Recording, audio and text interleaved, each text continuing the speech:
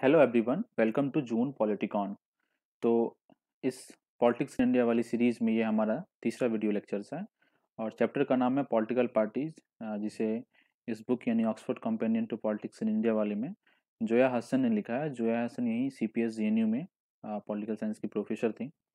तो आइए हम लोग शुरू करते हैं। Introduction democratisation in former colonial states has been inconsistent and erratic. India has been an exception. It has maintained and consolidated a democratic system despite the fact that the preconditions often associated with democracy, ranging from industrialization and mass literacy to a minimum standard of living. मतलब ऐसा माना जाता है कि जो liberal theory या democracy है कि कोई भी डेमोक्रेसी किसी कंट्री में यदि सक्सेस होगा तो उसके कुछ प्री कंडीशन होते हैं कि वो कंट्री में इंडस्ट्रियलाइजेशन होना चाहिए लिटरेसी बहुत अधिक हाई होना चाहिए और एक मिनिमम स्टैंडर्ड ऑफ़ लिविंग होना चाहिए सिटीजन्स के बीच लेकिन इंडिया जब नया नया इंडिपेंडेंट हुआ था तो उसके पास ये कुछ भी चीज़ें नहीं थी। तो अब जब बहुत सारा पढ़ेंगे मतलब फॉरेन राइटर को तो उन्होंने यही कहा कि इंडिया इस इलेक्शन के बाद यहाँ पे अब ऑथोरिटेरियन गवर्नमेंट हो जाएगा डिक्टेटरशिप आ जाएगा। लेकिन ऐसा कुछ नहीं हुआ। इंडिया में डेमोक्रेसी काफ़ी अच्छे से सक्सेसफुल रहा। ठीक है? तो इंडिया ने जो बने बनाए डेफिनेशंस था, इसको एक तरीके से चैलेंज किया और इस बात को जो है गलत साबित किया कि ये ज़रूरी मतलब प्री कंडीशन होना कोई इम्पोर्टेंट नहीं है, ठीक है? इम्पोर्टेंट है लेकिन ये एक प्रकार का कोई फिक्स नहीं है कि ऐसा होगा तो ही डेमोक्रेसी सक्सेस होगा। नाइनटीन में ये सब एबसेंट था। तो India first become a democratic and secular republic The democratic process has depend, drawing historically disadvantaged groups into the political system. और हमारा जो डेमोक्रेटिक सिस्टम है वो काफ़ी डिपेंड हुआ। इसमें इस पॉलिटिकल सिस्टम में जो डिसएडवांटेज ग्रुप्स के लोग थे, उन्हों वो भी काफ़ी अच्छे तरीके से एंट्री किए पॉलिटिकल सिस्टम में। और ये मेनली किसके थ्रू हुआ? तो ऑब्वियसली जो पॉलिटिकल पार्टीज़ था, इसका एक बहुत बड़ा डिसाइसिव रोल था इसमें। Parties are in short, the agencies and mechanisms through which power is organized and exercised in a ठीक है? पार्टी एक प्रकार का मतलब एजेंसी और मैकेनिज्म है जिसके थ्रू पावर को हम ऑर्गेनाइज करते हैं और फिर उसको डेमोक्रेसी में एक्सरसाइज करते हैं। The Indian political parties do not fit into any of the theories of liberal democratic politics or the conventional categories of party system known, known in the West. Due to the heterogeneous nature of Indian society, here we also found uh, the various types of parties from Congress to right-wing BJP and the world's longest surviving democratically elected communist party government at the state level in the west bengal जो ज्योति बसु की सरकार थी waste Bengal में मतलब अलग अलग प्रकार की पार्टी है यहाँ पे डिफरेंट कांग्रेस है राइट विंग बीजेपी है और जो democratically elected communist party government West Bengal में था वो लॉन्गेस्ट सर्वाइविंग था याद रखिएगा democratically elected. From eighty nine, उन्नीस सौ नवासी के बाद जब इलेक्शन होता है, राजीव गांधी इलेक्शन में हार जाते हैं और वीपी सिंह की गवर्नमेंट बनती है, तब से the leadership organisation, electoral strategies and support base of political parties have undergone significant change. ठीक है, बहुत सारे चेंजेस आए उसके बाद। To understand this developments, we can categorise it into two phase. पहला फ़ेज़ क्या है? One party dominance. Under moderate levels of political participation and elite consensus characterise the first phase ठीक है, पहला जो फ़ेज़ था वो वन पार्टी डोमिनेंस था, जिसे रजनी कोठारी ने काफ़ी एक्सप्लेन किया आगे चल करके। खैर, इसमें नहीं पढ़ना वो। वन पार्टी डोमिनेंस है moderate levels of political participation कोई ज़्यादा नहीं था उसमें, और एक प्रकार का एलिट कंसेंसस रहा था हर एक चीज़ों में तो वो पहला फ़ेज़ था। और जो दूसरा फ़ेज़ था वो था greater democratisation and the opening of the political system to non elite participants अब जो पॉलिटिकल सिस्टम में जो है, अनेक अनेक प्रकार के जो बैकवर्ड क्लास हैं डिसएडवांटेज ग्रुप है, दलित है, वो पॉलिटिकल सिस्टम में एंट्री मारना स्टार्ट किया, जो दूसरा फ़ेज़ था। और इसका कारण से जो डेमोक्रेसी है, ज़्यादा उसका एरिया काफ़ी एक्सपेंड हुआ।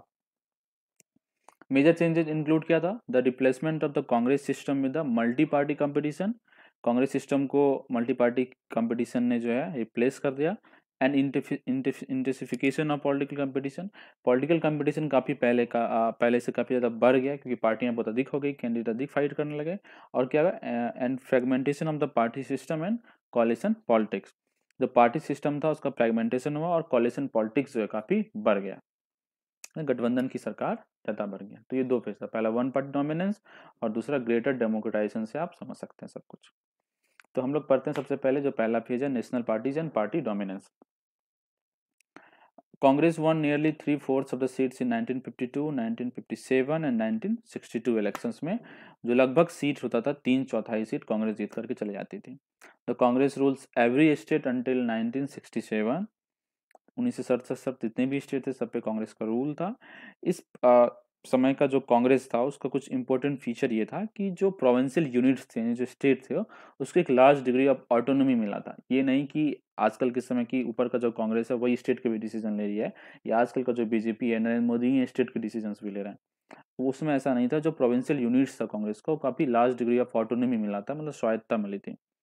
और वो अपने जो were able to assert in relation to central party leadership उसके बाद it enjoyed enormous prestige with the rural and urban masses जो कांग्रेस थी उस समय की, काफ़ी इनका इज़्ज़त था रूलर में रूरल और अर्बन मासेस में। Its hegemony was based on a concrete set of achievements and independent model of industrial growth considerable reduction in large scale feudal land holdings which benefited the upper peasantry growth in infrastructure and expansion in educational facilities and technical personnel तो ये सब सारी चीज़ें थी जिसके base पे कांग्रेस का हेजेमिनी जो है उसमें काफ़ी था। कोई ये नहीं था कि उन्होंने कोई काम नहीं किया, काम बहुत सारे किए और उसके बेसिस पे हेजेमिनी उनका बेस्ड था। सीमेंट क्या था? Independent model of industrial growth था इनका मिक्स इकॉनमी वाला। Large scale feudal land holdings में काफ़ी रिडक्शन किया गया तो जो कि अपर पिजेंट्री थे, उसको काफ़ी फ़ायदा मिला और जो लैंड रिफॉर्म्स पॉलिसी वगैरह था इंफ्रास्ट्रक्चर काफ़ी ग्रोथ हुआ तो इन सब चीज़ें पे इनका हेजेमनी बेस था। The political system worked until the split in the Congress in 1969 और ये जो पॉलिटिकल सिस्टम था कांग्रेस का, जिसमें प्रोविंशियल यूनिट को ऑटोनॉमी मिला था और ये सब, ये 1969 में जो कांग्रेस का स्प्लिट हुआ था, उससे पहले काफ़ी ये काम किया। 1969 में कांग्रेस का स्प्लिट हो जाता है मतलब कांग्रेस में विभाजन हो जाता है। After the split the political system was entirely ruled by central command ठीक है? And and the end control and in party affairs by the high command जब स्प्लिट होता है और इंदिरा गांधी पार्टी पे एक प्रकार का समझिए कब्जा ही कर लेती है, कांग्रेस दो भागों में बढ़ जाती है, कांग्रेस ऑर्गेनाइजेशन और कांग्रेस आई, यानी कांग्रेस इंदिरा, ठीक है? तो उसमें पॉलिटिकल सिस्टम में क्या हो गया कि अब जो पॉलिटिकल सिस्टम है, वो सेंट्रल कमांड जो मतलब सेंट्रल पे कमांड है, वो उसको रूल कर रहा है और जो पार्टी अफेयर्स का मैटर है, वो तो हाई कमांड मतलब उससे भी छोटा ग्रुप, जैसे चार पाँच दस लोग थे, उन्होंने इस पर रूल करना शुरू कर दिया मतलब प्रोविंशियल ऑटोनॉमी खत्म। From this period onwards it involve in the electoralist catch all party After the disastrous emergency experiment, the vote base of Congress had dropped substantially. Vote base Congress का गिर गया emergency के बाद और उन्नीस सौ सतहत्तर में क्या हुआ? The first non Congress government at the centre has formed Janata के द्वारा जो कि लेड किया गया जिसमें चार पार्टियाँ और थी जनसंघ भारतीय लोकदल कांग्रेस ओ यानी organisation and the socialist party ठीक है? और इस पार्टी में क्या हुआ? अब नेशनल पॉलिटिक्स में जो बैकवर्ड कास्ट था वो एक मेजर फोर्स के रूप में उभर के सामने आया। India again came in uh, Indira Indira Gandhi again came in 1980 and Rajiv Gandhi in 1984 after the assassination of Indira in 1984. But the underlying trend signifies the collapse of one party dominance and the end of the Congress repo in Indian politics. लेकिन उन्नीस सौ अस्सी में फिर से इंदिरा जीत के आती है और उन्नीस सौ चौरासी में राजीव गांधी इंदिरा गांधी की हत्या के बाद लेकिन इन सब चीज़ों से यही समझ में आ रहा था कि जो अब वन पार्टी डोमिनेंस है वो खत्म हो चुका और कांग्रेस का युग चले गया ठीक है वन पार्टी डोमिनेंस वाला कांग्रेस का युग चले गया अब with the decline of Congress dominance the second phase of party politics begin taking shape और वो सेकेंड फ़ेज़ क्या है? ग्रेटर डेमोक्रेटाइजेशन ठीक है? अब सेकेंड फ़ेज़ स्टार्ट हुआ नाइन के बाद। इसमें क्या सब हो रहा था? This period saw the emergence of the BJP as a major force in Indian politics मतलब बीजेपी का एक बहुत ही इमरजेंस हो रहा था। It soon overshadowed the Congress as the largest party in the 1996, 1998 and 1999 elections उन्नीस सौ छियानवे, अंठानवे और निन्यानवे के इलेक्शन में कांग्रेस को से बड़ी पार्टी बन के बीजेपी उभरी, ठीक है?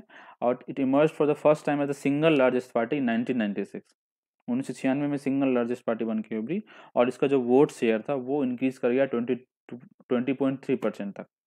And the BJP led A B Vajpayee government Atal Bihari Vajpayee government lasted only thirteen days केवल तेरह दिन तक इसकी सरकार रही After that, S.D. Devgora and then I.K. Gujral and again Vajpayee became the prime minister in 1998.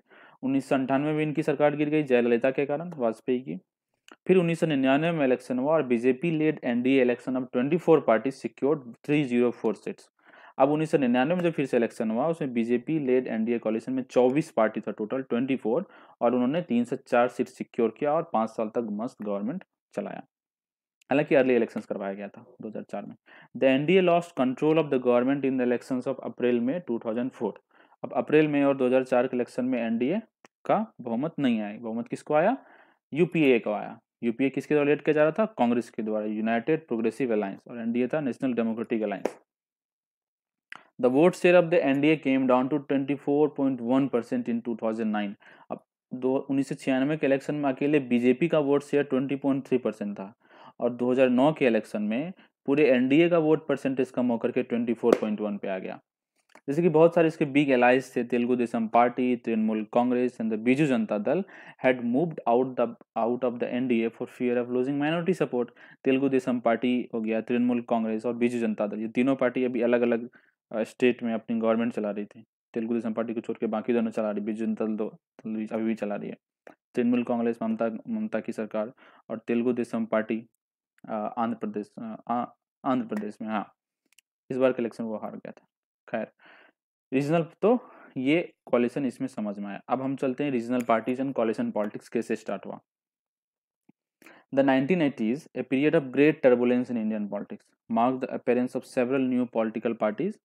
Parties कैसे? Parties such as the Samajwadi party Rashtriya Janata Dal Bihar Janata Dal secular जो आपको जेडीएस यानी Karnataka and Janata Dal United यानी जदयू यानी Nitish Kumar have units and have fielded candidates in many state जैसे राजद ने बिहार में, झारखंड में भी अपना कैंडिडेट को उतारा, समाजवादी पार्टी ने यूपी और कुछ कुछ स्टेट्स बिहार में अपना कैंडिडेट को फिल किया। तो जनता दल सेक्युलर जो है कर्नाटका में और आसपास के एक दो स्टेट में। जनता दल यूनाइटेड तो बिहार, झारखंड यूपी इवन अरुणाचल प्रदेश में भी फाइट कर रही है।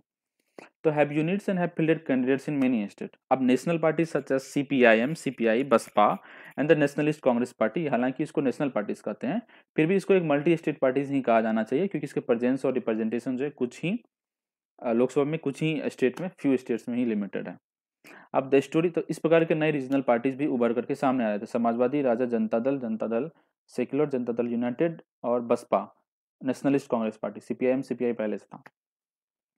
अब द स्टोरी ऑफ़ यूपी देखिए कितना अच्छा समझ में आएगा आपको फ्रेगमेंटेशन कैसे हुआ पार्टी सिस्टम का। विदरिंग अबे यूपी में पहले कांग्रेस का एक क्षेत्र राज था, वो खत्म हुआ कैसे? Withering away of the Congress umbrella, and social coalition of Brahmins Dalit and Muslim gave rise to new alliances represented by caste and community based parties पहले जो कांग्रेस थी यूपी में, वो ब्राह्मण, दलित और मुस्लिम तीनों का वोट कांग्रेस को आता था। लेकिन वो जो पूरा कांग्रेस का अम्ब्रेला था, वो खत्म हुआ।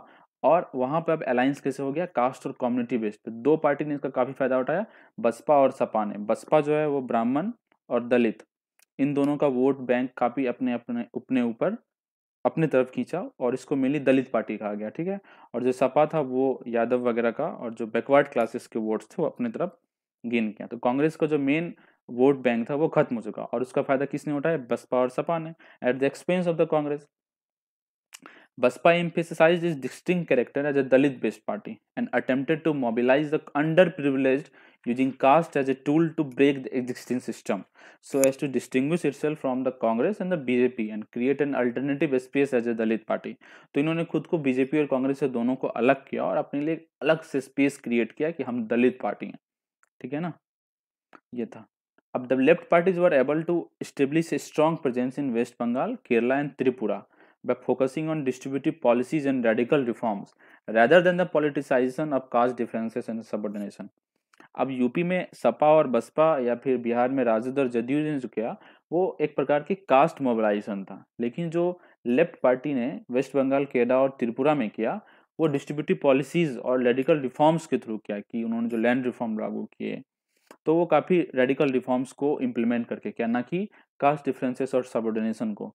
तो ये अंतर है दोनों में, जो यूपी में सपा, बसपा या बिहार में राजद और जदयू ने किया, वो कास्ट मोबिलाइजेशन बेसिस पे था, लेकिन जो लेफ़्ट पार्टीज़ ने वेस्ट बंगाल और केरला और त्रिपुरा में किया, वो डिस्ट्रीब्यूटिव पॉलिसीज़ और रेडिकल रिफॉर्म्स पे था, okay? In the 1990s political power shifted from the great encompassing parties which had dominated politics for close to three decades to regional parties and multi parties coalitions, ठीक है? Nineteen nineties decade में आप साफ़ देख ही रहे हैं कि जो सरकार बन रही है वो मल्टी पार्टी कॉलिशन की सरकार है। जो अब ग्रेट इनकम पासिंग पार्टी थी जिन्होंने वन डोमिनेंस स्टेब्लिश करके रखा था तीन दशक तक इंडिया में, वो खत्म होकर के रीजनल पार्टीज़ और मल्टी पार्टीज़ कॉलिशन में जा रहा है। The number of seats won by regional parties went up to 158 in 1919 and 159 in 2004 ठीक है ना? उन्नीस सौ निन्यानवे के इलेक्शन में एक सब 158 से रीजनल पार्टीज़ जितनी भी रीजनल पार्टीज़ ने मिल करके जीता। अलग अलग अलग, सब साथ नहीं थे इलेक्शन अलग अलग थे मतलब एक फिगर है 158 और 2004 में 159 सीट्स और ये मिलनी क्या हुआ? जो नेशनल पार्टीज़ था, यानी बीजेपी और कांग्रेस के एक्सपेंस पे हुआ। Three major trend post 1989 post nineteen के बाद तीन मेजर ट्रेंड्स देखने को मिलता। है पहला decline of the Congress Congress का डिक्लाइन हुआ। दूसरा राइज ऑफ़ द बीजेपी और तीसरा and that of regional and state based parties have led to the formula, formation of minority and coalition governments. पहला डिक्लाइन हुआ कांग्रेस का, बीजेपी का rise हुआ और जो रीजनल और स्टेट बेस्ड पार्टी थी, उन्होंने मिलकर एक माइनॉरिटी और कॉलिशन गवर्नमेंट्स फॉर्म करना स्टार्ट किया। The succession of coalition government since the nineteen nineties which reflecting the expanding process of democratization is based on special not ideological compatibility और सबसे बड़ी बात इन सब का जो कॉलिशन गवर्नमेंट था, को आइडियोलॉजिकल कंपेटेबिलिटी नहीं था कि लेफ़्ट वाले लेफ़्ट के साथ ही सरकार बनाएँगे राइट वाले राइट के साथ ही बनाएँगे।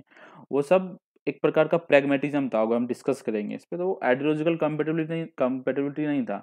बल्कि पहले इलेक्शन अलग अलग लड़ रहे थे फाइट कर रहे हैं, और जब सरकार बनाने की बात आई तीन चार सीट कम है तो भाई किसी से समर्थन ले लो। तो वही था उसमें। किसी से समर्थन लेकर के अपनी सरकार बना लो।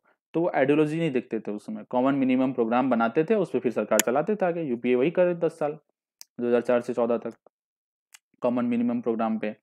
आज जब 2008 में न्यूक्लियर एग्रीमेंट हुआ इंडिया और अमेरिका के बीच में तो लेफ़्ट पार्टी धमकियाँ देने लगी कि अब हम अपना समर्थन खींच लेंगे, समर्थन खींच भी लिए थे उन्होंने। तो ये हुआ था। अब प्रेगमेटिज्म ऑफ़ इंडियन पार्टीज़ क्या है? देखते हैं। जीएनयू में क्वेश्चन भी आया था इस साल 2020 में। कि उसमें था कि कौन कौन लिबरल का लिबरल क्या कहते हैं लिबरलिज्म का प्रिंसिपल है। तो उसमें चार ऑप्शन थे, उसमें से बताना था। मतलब एक नहीं था कोई तो ऐसा कुछ क्वेश्चन था। ठीक, देखते हैं फिर क्या है। One remarkable feature of political parties in India since the 1990s has been their tendency to move away from ideological framework. 1990s के बाद जो पॉलिटिकल पार्टीज़ था, उसका सबसे बड़ा जो टेंडेंसी देखा गया कि वो अपने आइडियोलॉजिकल फ्रेमवर्क से मूव अवे कर रहे हैं, दूर हट रहे हैं। मतलब वो एक एक शॉर्ट शॉर्ट ऑफ़ उनका कोई फिक्स नहीं है कि हाँ आइडियोलॉजी है, लेकिन जब सरकार बनाने की बात आए तो उससे मतलब समझौता कर सकते हैं। Indian parties are more pragmatic than ideological ये ज़्यादा प्रेगमेटिक हैं और आइडियोलॉजिकल कम है which makes party boundaries highly flexible and permeable ठीक है? The explanation of this changes is traceable to the radical transformation taking place in both state and society and the way in which individuals and groups perceive their roles as constitutive elements of a political community और इसका explanation अगर हम खोजने जाएँगे तो यही है कि जो सोसाइटी में भी काफ़ी प्रकार और स्टेट में सोसाइटी में काफ़ी ट्रांसफॉर्मेशन हुआ है रेडिकल ट्रांसफॉर्मेशन हुआ है। तो इस कारण से वो आइडियोलॉजी पे अगर हम टिके रहेंगे तो चीज़ें हमें उतनी अच्छी से नहीं मिल पाएगी। अब क्या हो रहा है economic policy paradigm shift that took place in 1991 entailed shifting priorities away from distributive justice to high growth as a state goal the demotion of state planning public sector industries and the encouragement of private investment to achieve this goal अब जो यहाँ पे state जो economic policy लागू किया गया liberalisation privatisation globalisation LPG का 1991 में तो इसमें अब जो स्टेट का मेन गोल होगा कि हम हाई ग्रोथ दिखाएँगे स्टेट प्लानिंग खत्म हो गया पब्लिक सेक्टर इंडस्ट्रीज़ को कम किया जाने लगा, उसे डिसइन्वेस्टमेंट किया गया और प्राइवेट इन्वेस्टमेंट को काफ़ी इनक्रेज किया गया। तो अब सारे स्टेट जो है, इस गोल को इंक्रीज करना शुरू कर दिए। बसरते कि वो सोशलिस्ट पॉलिसीज़ पे जाएँ, जो नेहरूवियन एरा का था। तो almost all the parties today जितनी भी पार्टियाँ हैं, क्या करती है? पुअर और डिसएडवांटेज और मार्जिनाइज ग्रुप के हक में बोलती है डिफेंड बोलती है। ऐसा कोई पार्टी निकल के दिखाई जो बोले कि नहीं, हम पुअर के लिए काम नहीं करेंगे सभी पार्टी वही बोलती है। There is fair degree of concession on economic and foreign policy between parties economic और फॉरेन पॉलिसी पे जितने भी पार्टियाँ हैं, एक फेयर डिग्री ऑफ़ कंसेंसस है। थोड़ा बहुत चेंज हो सकता है, लेकिन मैक्सिमम तो सेम सेम ही है उन लोगों का। Whoever parties came in power at the center or the state level they are no interest to roll back new liberal economic policy. कोई भी पार्टी आ जाए सेंटर या स्टेट लेवल पे, कोई भी स्टेट गवर्नमेंट या सेंट्रल गवर्नमेंट नहीं, या पार्टी नहीं बोलेगी कि हम न्यू लिबरल पॉलिसी को आज से ख़त्म कर रहे हैं।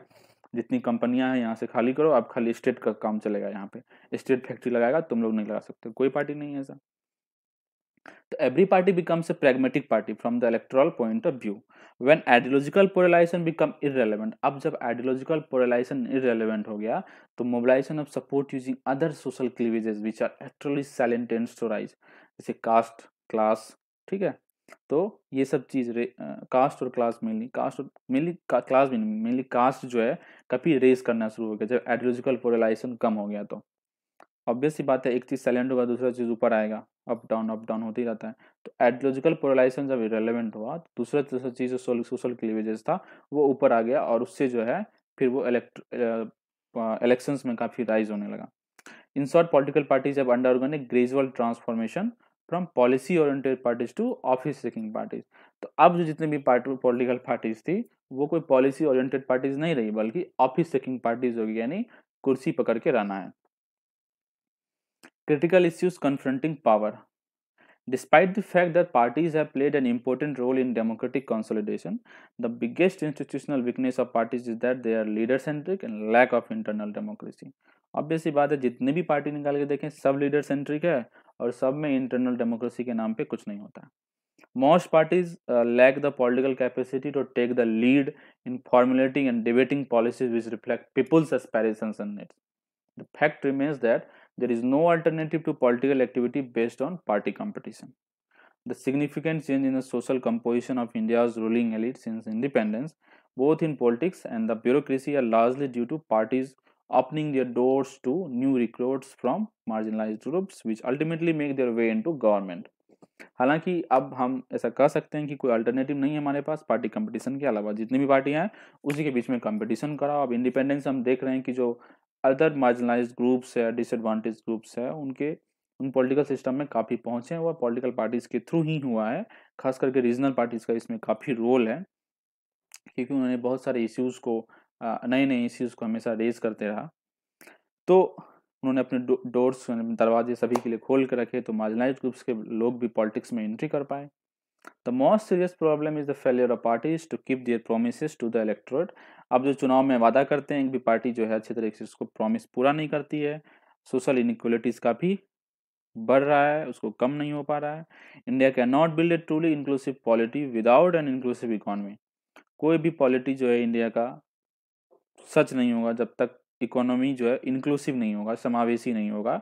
यानी उसका फ़ायदा जो है सबसे निचले पैदान के लोगों को तब तक नहीं मिलेगा। Parties need to think why six decades after independence, more than a quarter of our population still lives below the official poverty line. एक तो पॉवर्टी लाइन पॉवर्टी अलग डेफिनेशन फिर ऑफिशियल पॉवर्टी लाइन के भी एक चौथाई लोग उससे नीचे ज़िंदगी गुसर बसर कर रहे हैं। तो ये सारी चीज़ें हैं and these are the difficult question confronting our political parties इसको आप लोग अच्छे से पढ़ लीजिएगा ब्लॉग में, फिर से कहीं कोई दिक्कत हो तो पूछ सकते हैं कमेंट बॉक्स में और मेल भी कर सकते हैं या फिर हमारे व्हाट्सएप या टेलीग्राम ग्रुप पे भी आप लोग क्वेश्चन रेज कर सकते हैं। And this is the great unfinished agenda of the national building project parties have yet to implement ठीक है, उनके अपने जो इलेक्ट्रॉल प्रोमिस होते हैं उसको कंप्लीट करना पड़ेगा और और देश को सचमुच में आगे बढ़ाने के लिए एक प्रकार का प्रण लेना पड़ेगा ताकि वो चीज़ों को और अच्छे तरीके से कर सके। ना कि बल्कि वो ऑफ़िस सीकिंग पार्टीज़। इलेक्शन जीतने से मतलब नहीं होता है मिशन 270 प्लस 320 प्लस, बल्कि सच में काम करना है हमें इस देश को आगे बढ़ाने के लिए। और कुछ इंपॉर्टेंट बुक्स हैं। The Congress system is dead, long live the party system and democratic India. एक पेपर था, वर्नॉन हेविट ने लिखा था इसे। India silent revolution Christophe Jaffrelot. Silent revolution क्या है? ये बहुत अच्छी बात है। इस बुक में क्रिस्टोफे जेफरलोट ने साइलेंट रिवॉल्यूशन उसे कहा है, जो कि नॉर्थ इंडिया में जिस प्रकार से जो बैकवर्ड क्लास है और जो दलित है, वो पॉलिटिकल सिस्टम में जो एंट्री किया है, जिस तरीके से, जिस इनॉर्मस तरीके से, इतनी भारी संख्या में, उसी को क्रिस्टोफर जेफरलोट ने इंडिया का सेलेंट रिवॉल्यूशन बताया, जो नॉर्थ इंडिया में बैकवर्ड क्लासेस का एंट्री हुआ है, पॉलिटिक्स में। सुधा पाई जे की सीपीएस की प्रोफेसर थी, उनकी उनका ही बुक है, द बसपा इन उत्तर प्रदेश। उनका बीएसपी और दलित पॉलिटिक्स पे काफ़ी रिसर्च है। फिर India's democracy and analysis of changing state society relation Atul Kohli ने लिखा है ये, ठीक है? ये आप लोग अच्छे से देख लीजिएगा बुक सब काफ़ी मैथ दीज में पूछ रहा है आजकल, पूछता ही है, जेएनयू में इस साल बहुत साल कुछ क्वेश्चन पूछा गया था, ठीक है? All the best thank you